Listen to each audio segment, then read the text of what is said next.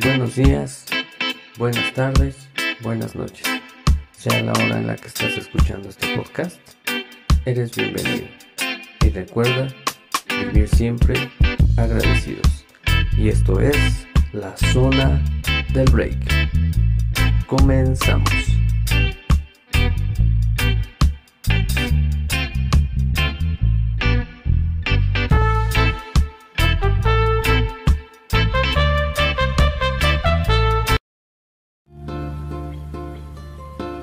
Buenos días, buenas tardes, buenas noches. Sea la hora en la que estás escuchando este podcast, eres bienvenido. Esto es la zona del break. Comenzamos. Este es nuestro episodio número 3 y se llama ¿Con qué sueñas? ¡Wow! ¡Qué pregunta! Ah, de pequeños queríamos ser muchas cosas. Una de ellas era poder ser un superhéroe. Sí. En algún momento lo llegamos a soñar o llegamos a imaginarnos. Quizás quería ser un maestro, un contador, un doctor, un abogado, un chef, un policía, un bombero, infinidad de cosas queríamos ser y también jugábamos. Quizás hoy en día esos sueños ya se cumplieron o quizás aún faltan por cumplirse si es así, no te preocupes. Todo tiene un tiempo y por supuesto que todo, que todo tiene un proceso. ¿Con qué sueñas? ¿Tienes algún sueño? ¿Algún sueño con el que en alguna ocasión, en algún momento de tu vida, lo compartiste con alguien y ese alguien te dijo, ¿estás loco? Sí. Esa típica frase que suele salir en algunas ocasiones de nosotros mismos, sin querer queriendo, decía el chavo del 8. Y en algunas ocasiones nosotros mismos lo llegamos a ver imposible. Quizás muchos de esos sueños aún no se han cumplido, por falta de empeño, por falta de persistencia, o quizás porque aún nos falta la madurez para llevarlo a cabo. Para trabajar por el sueño que tengas, vas a, va a requerir mucho esfuerzo de tu parte. Quizás en este momento de tu vida estás pasando por esa parte. Para trabajar por ese sueño, requerirá el doble de tu esfuerzo. Levantarte más temprano, en algunas ocasiones dormirte más temprano, saltarte comidas, dejar de salir a ciertos lugares por cumplir ese sueño podrán decirte y escucharás esas voces que te van a que van a estar ahí y te dirán, no podrá, fracasará, se rendirá. O la típica frase de ¿cuánto a que en una semana se retira? Sí, son las típicas frases como buenos mexicanos. Y sí, en efecto, estoy seguro de que todas esas frases ya las has escuchado. El tener un sueño implica trabajar más que los demás y no es una cosa fácil, no es algo sencillo. A medio camino empezarás a sentir el cansancio. Te podrás decir, ¿valdrá la pena lo que estoy haciendo? ¿Será acaso que es verdad lo que dicen? ¿Que estoy loco y que no lo lograré? Todas esas interrogantes vendrán a tu vida, si no es que ya están. Pero tranquilo, Dios tiene el control de todo. Muchos de los sueños que alguna vez tuvimos se han detenido o tener que puesto en pausa, quizás porque aún no era el tiempo, porque aún no se tenía la madurez o la humildad para conseguirlos. ¿Dirás humildad? Sí, amigo, humildad. No es que consigas por lo que tanto soñaste y trabajaste. No, no, no, no. Para nada. No es solo la parte en la que digas, bueno, pues ya logré, ya lo logré, ya lo conseguí, ya estoy aquí. No. Tendrás tú el valor de despojarte de algo con quien te ayudó o serás y tendrás la parte de decir, a mí me costó que él lo haga o que él haga lo suyo. Es ahí donde se reflejará tu humildad y tu madurez. La humildad para compartir con tus familiares y con quien lo necesite. La madurez, para cuando tengas algo, quieras decir, por mí lo logré, y voltees a tu lado y veas la necesidad y no te importe. Esa es la madurez. Cuando quizás en ese proceso mucha gente te apoyó. Y no porque ahora se tenga quiere decir que mirarás de lejos a los demás, sino por lo contrario, ayudar a quien estuvo en ese proceso contigo. Ayudar a quien alguna vez te tendió su mano y estuvo ahí apoyándote cuando quizás todo estaba en tu contra y no veías la salida. Eso habla de madurez y empatía de uno mismo para con los demás. Quizás ese sueño que tienes suene algo loco, pero como te decía al principio, habrá gente que te apoye y otros tantos que te digan, no lo lograrás. Pero en la vida, justamente de eso se trata, de salir adelante y luchar por lo que se quiere. Y el éxito depende de caer mil veces y levantarse una y mil veces más. Y quizás esos fracasos aparentes que puedas tener no son para quedarse ahí, sino todo lo contrario, para levantarte con más ganas y con más ánimos y demostrarte a ti mismo que puedes con eso y más. Demostrarte que puedes salir adelante y salir por la derecha, que puedes salir adelante y salir por tu familia. Nada en la vida está perdido, si tú que me estás escuchando eres padre de familia o eres madre y estás pasando una necesidad fuerte, quizás das tu matrimonio por perdido, tu trabajo, sea la situación que sea, créele a Dios, de verdad, créele a Dios. Hay una parte en la palabra de Dios en Jeremías 33:3 que dice, Clama a mí y yo te responderé y te enseñaré cosas grandes y ocultas que tú no conoces. Si tú y yo nos rendimos a Dios y le damos a Dios que Él tome el control de nuestras vidas, Él cambiará nuestros, nuestros procesos y nuestra forma de pensar y de actuar. Todo, absolutamente todo en la vida se trata de fe. La fe es llamar a lo que no es como si ya fuera. La fe son esas ganas inmensas de no rendirse. La fe se motiva y se enciende al ver a tu familia. La fe es ver y declarar que todo ya está hecho. La fe, querido amigo, mueve montañas. La fe es creerle a Dios. La fe es depositar todo en sus manos y dejar de cargar ese costalito que ya viene muy pesado. La fe es rendirse ante Dios y decirle, ya no puedo, ya no puedo más en mis fuerzas, ya me cansé, ya no puedo con esta situación.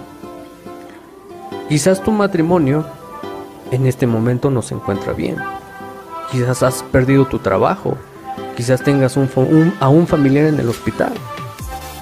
Quizás tienes miles de cosas que en este momento te están pasando. Y digas, ya no puedo, ya no quiero, Quizás todo el mundo te ha abandonado, pero en medio de todo ese caos hay alguien que nunca te dejará y nunca se irá ni se apartará de tu vida. Ese ser que te estoy hablando, querido amigo, es Dios y Él te está esperando con sus brazos de amor. Él está atento a que tú le hables. Él está atento y anhela y desea escuchar tu voz. ¿Cuál es tu sueño? dejar todo en pausa, dejar que las pruebas y las adversidades te superen. Se vale sentarse y derramar unas lágrimas. Se vale sentarse y decir, ahorita no puedo. Se vale sentarse y decir, espérenme tantito. Se vale sentarse y llorar pero lo que no se vale es darse por vencido. Eso es lo que no se vale. ¿Qué esperas para retomar los sueños que tienes? ¿Qué esperas para abandonar el no puedo? ¿Qué esperas para abandonar todas esas voces que te han dicho que no puedes? Si ha llegado la duda a tu vida, dile lo siguiente. Llegó primero la fe y las ganas de triunfar. Llegó primero la fe y mi convicción de que Dios obrará y actuará a mi favor. Llegó la fe y la necesidad de salir adelante. Llegó la fe y con ella el amor de Dios a mí y a mi familia. Llegó la fe y le ganó a mis dudas. ¿Cuál es tu sueño? Mi sueño es ser mejor persona que la que fui ayer. Mi sueño es ser mejor padre, mejor madre, mejor hijo. Mi sueño es triunfar y salir adelante. Mis sueños están puestos en las manos de Dios. No dejes de soñar. Y que esos sueños que tienes se hagan realidad. Que esos sueños que tienes se cumplan. Que cada situación difícil que has pasado, que cada situación difícil que te ha tribulado, que cada situación difícil que te ha sobrepasado, no las dejes. No las dejes a que te superen. No les des chance de que sobrepasen tu vida. No les des chance de que venga el temor a tu vida y digas no puedo.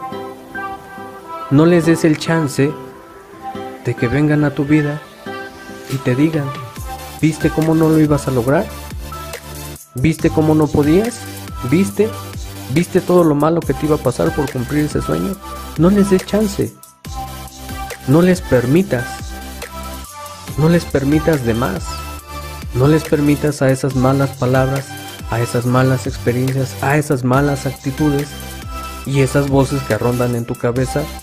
No les permitas que te digan no puedes, fallaste, te caíste, fracasaste, no les permitas. Agarra todas esas palabras y ocúpalas para usar un escalón, hacer un escalón en tu vida y usarlo para dar un salto de fe, para subir otro escalón más. Agárralas para decir si puedo. Agárralas y ocúpalas para tu bienestar vas a decir mi bienestar, ¿sí? Que todas esas malas experiencias, esas malas actitudes, todo lo malo que has pasado, todo lo malo que te ha sucedido, lo agarres y lo ocupes de experiencia en tu vida para dar el siguiente paso, para seguir caminando hacia adelante, para no rendirte, para decir si puedo, y para decir y todo lo puedo en Cristo que me fortalece. Podrás decir, este amigo habla mucho de Dios. Pues sí, déjame decirte que esa es una realidad. Porque Dios para mí es mi todo. Y Él es el que me ha ayudado, el que me ha dado, el que me ha sustentado, el que nunca me ha dejado, ni me ha abandonado. Y si tú en este momento, como te decía, estás pasando una situación difícil,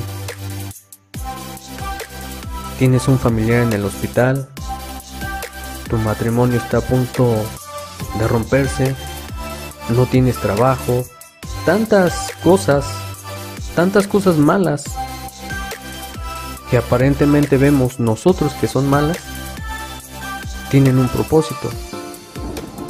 Y ese propósito no es el rendirse, ese propósito no es el de fracasar. Ese propósito es el de salir adelante. Ese propósito es el de triunfar. Ese propósito es el de cambiar mi vida, darle un giro no de 360 grados, sino un giro de 180 grados para que las cosas nuevas y mejores ocurran y sucedan en nuestras vidas. Esos son los propósitos de las pruebas y de las luchas. No para rendirse, no para quedarse tirados, para nada, no, no, no, no, sino por el contrario, salir victoriosos. Y si tú estás pasando una prueba difícil, lo que sea, lo que sea que tú estés pasando en este momento, déjale todo a Dios en sus manos. De verdad, Él es el que puede hacer las cosas. Y créeme que Él nunca te va a dar una carga que tú no puedas llevar, sin antes haber sin antes tener la victoria para tu vida y para tu familia. No dejes de soñar. Nunca dejes de soñar. Y que los sueños que tú tienes en tu vida se hagan realidad.